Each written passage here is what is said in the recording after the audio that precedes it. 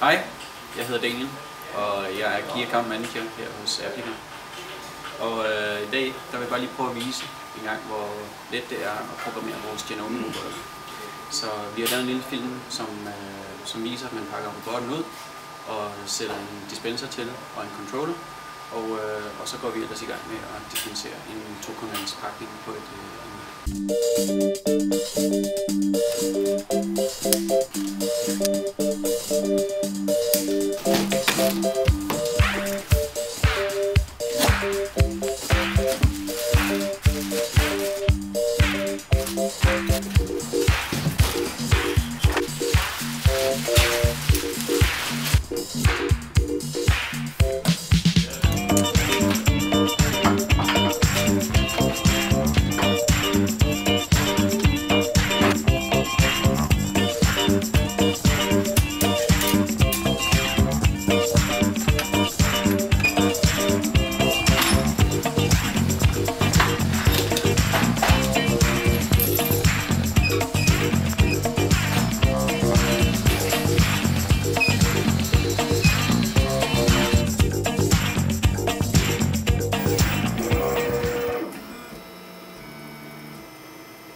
Jeg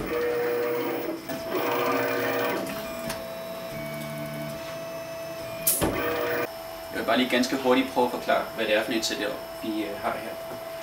Vi har selvfølgelig robotten, så har vi vores øh, tokomponents lim, som står i en konstant fødepatron. Så har vi vores controller, som sørger for, at ventilen den åbner og lukker herovre. Det der er unikt ved den ventil her, det er, at der kan vi skifte en indsats ud, som er den, der sidder her. Og det vil faktisk sige, at vi kan køre med, med lime som hærder, det vil sige to lime. Og så hvis øh, den hærder i øh, ventilen, så kan vi bare skifte indsatsen ud. I det her tilfælde, der skifter man så indsatsen og den sorte slange og mixerdysen ud her. Så materialet kommer ud igennem den her 2x200 ml spulpatron, ud igennem mixerdyssen, ud igennem den lille slange og ned igennem ventilen her.